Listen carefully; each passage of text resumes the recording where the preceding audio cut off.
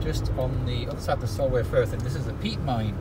All these black piles are peat being extracted, which is pretty outrageous, given uh, all the governments have decided, you know, they're going to ban peat use for horticulture and stuff, but they're mining it all there. So all these areas on the Solway Firth, just flat lowland areas, are all peat. You see some of the processing plants there for bagging it up and all that there. Huge piles of peat piled up in there.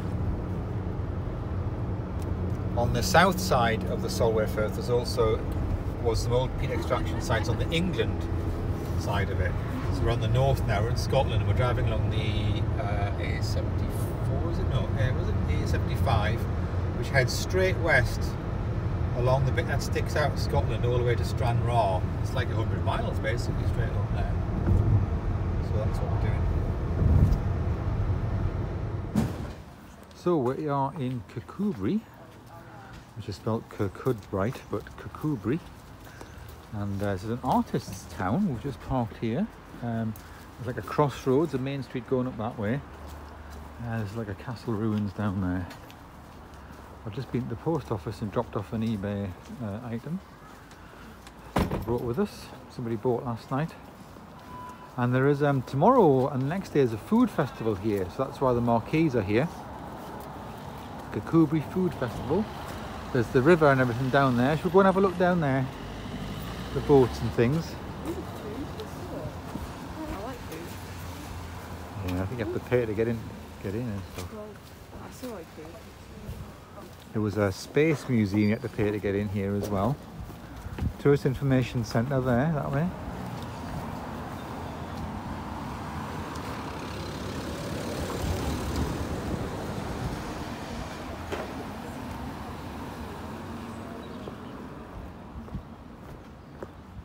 So the tide is out. We're here. We're sort of halfway along the big sort of stretch from goes from Dumfries to sort of Stranraer along that stretch which heads west in a straight line and uh, we just dropped down to Kirkcudbright here and uh, it's, a, it's a tidal bit so the, it's down the boats, fishing boats look like lobsters, you think they'll catch lobsters?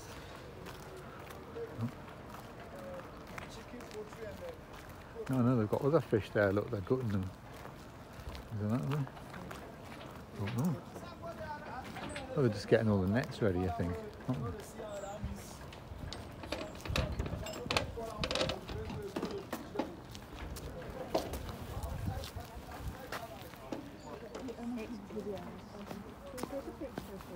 they? Yeah. The big anchor there, and there's like a cannons up there. Lobster pots. And then lots of mud flats here, and the ramps, the boat's going down straight into the muddy bits there. Yeah, Harbour Cottage Gallery. And there's like a castle here, look. Ruins. Go on, up there.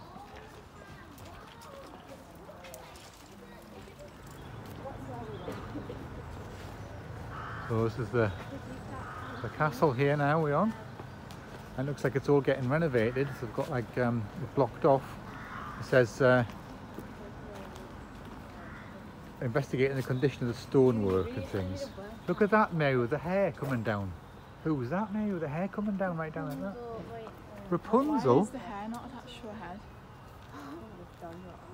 Is it?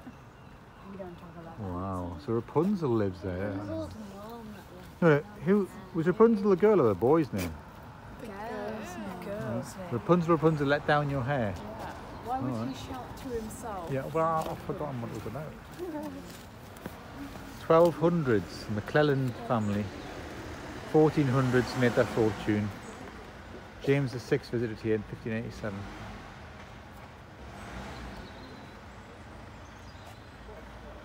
Alright.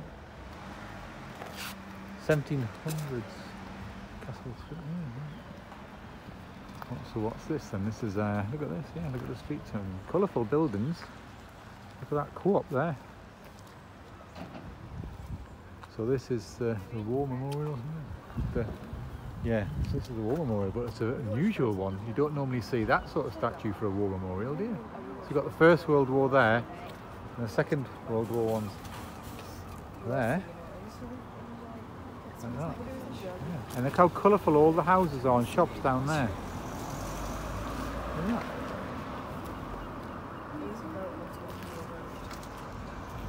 Colourful. That's somebody selling fish there, look from nothing. Are they selling fish? I don't know what they're selling. Look at the co-op, Mary, the building the co-op's in. So it's about three o'clock on uh, Friday afternoon. Just uh, keep being on the path here. And we're in Kirkcudbright.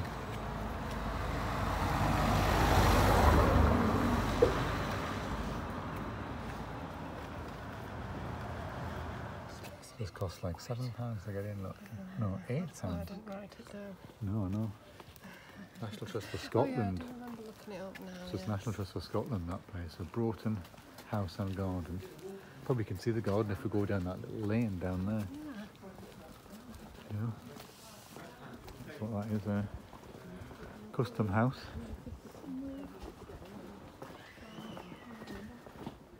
We'll have to look up who E.A. Hornel was.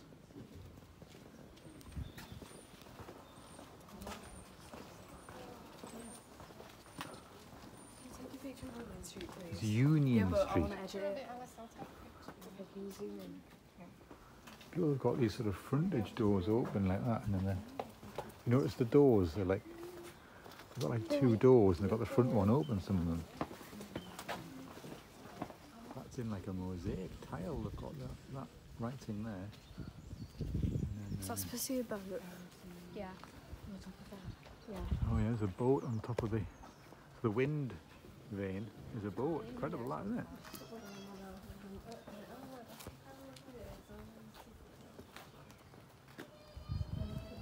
Have you seen the the wind vane made out of a boat? I mean, like a. Oh, yeah. Weird, isn't it? House. What's this? Have a look at these things here.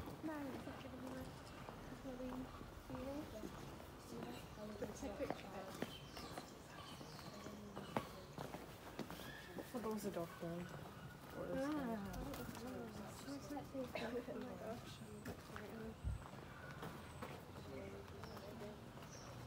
So this is another art gallery inside a um, an old town hall, I think. This toll booth uh, art museum thing here. Have a look at.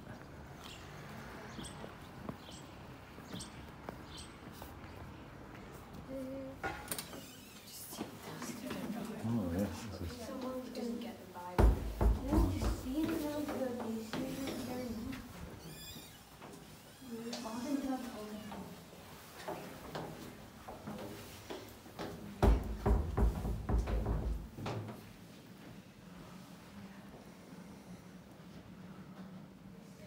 So we have some significant size uh, padlocks here. They're rather large, so just give you scale, that's my hand. They're very large. So we're in the Tollbooth Museum and Art Gallery in Kirkcudbright. What is this here? This is a witness box from the court built in 1868. That's the old clock look, the mechanism for it.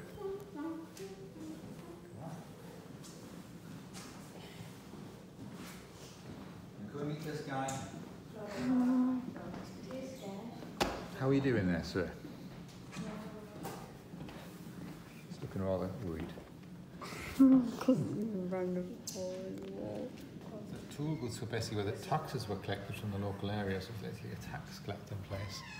And then it, it says that this is one of the earliest surviving in Scotland. Uh, so it was 1629 it was built the museum is here. It's got 15,000 letters. Like the old offences overseen by the magistrates. That's half a bushel. In terms of like, uh, the borders.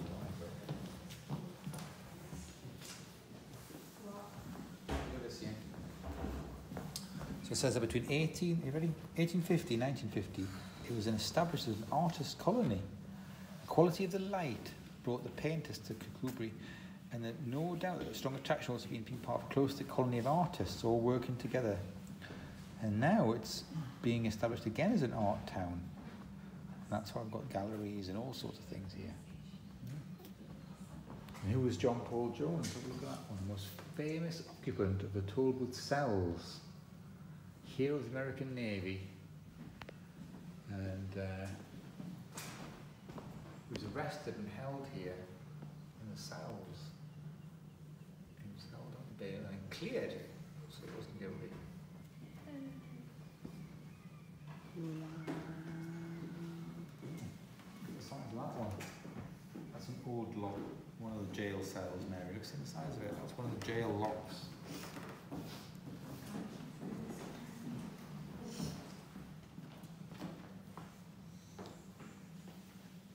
These are all the-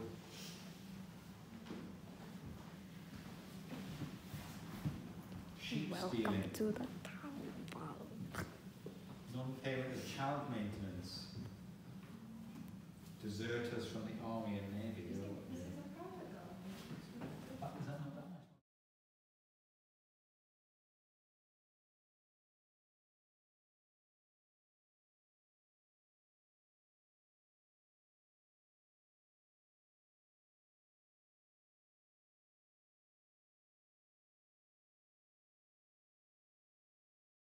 Can I, can I please?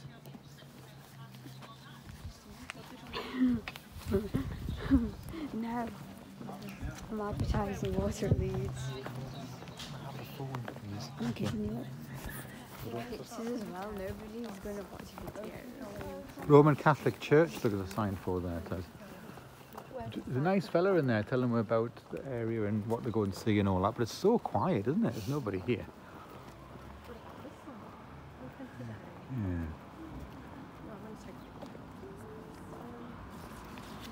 You can go in there. I mean, I, you know, it's, a, it's quite a house, that one. So there's loads of art galleries. Just been in that one. There's one there that's actually closed, I think. This one's closed today. This one.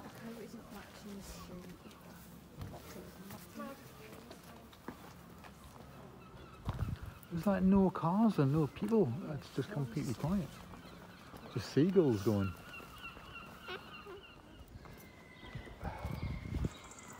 So there's a couple of masses there. Look, St Andrew's and St Cuthbert's Roman Catholic Church.